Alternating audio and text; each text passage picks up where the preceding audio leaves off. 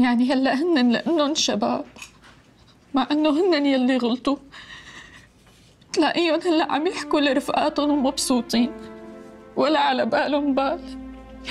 وأنا بس لأني بنت بتحاسب مع إنه أنا ما غلطت بحق حدا. انت غلطتي بحق حالك مو حاج؟ وأنا نبهتك. شمس هذا الموبايل يلي بإيدي مو خشبه أنا عم شوف البنات شو عم تلبس.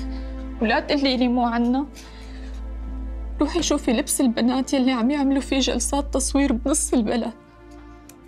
وإذا بتحضري جلسات التصوير تبع الشباب بتشوفي هدول المصروعين اللي عم بيحاولوا يقلدوا شباب برا. الواحد من بيناتهم فاتح زر قميصه واصل للسرة ومبين طرف البوكسر تبعه على أساس شو؟ إنه هو جقل. مع العلم إنه نحن بنشوف هيك شكيلات على إنهم تافهين وعقلهم فاضي. نحن البنات بنشوف الشباب اللي بيستخدموا هي الأساليب التافهة للإغواء تافهين. بقى لا تعملي لي حالك مظلومه بمجتمع ذكوري كلب. الغلط غلط وين ما كان وعلى مين ما كان. طيب وغلطت؟ ما بتسامح على هيك غلطة صغيرة. بس انت غلطتك دبل. لأنه ما عندك لا أب ولا أخ يتحملوا صدمة بهيك موقف. ما عندك غيري أنا وأنا تلفت.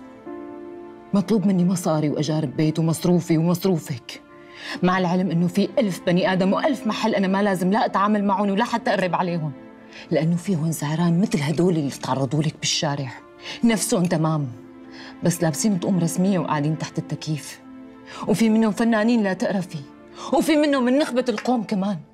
بقى عرفتي لأي درجة أنا تعبانة ومضغوطة؟ ارحميني شوي بقى معلش.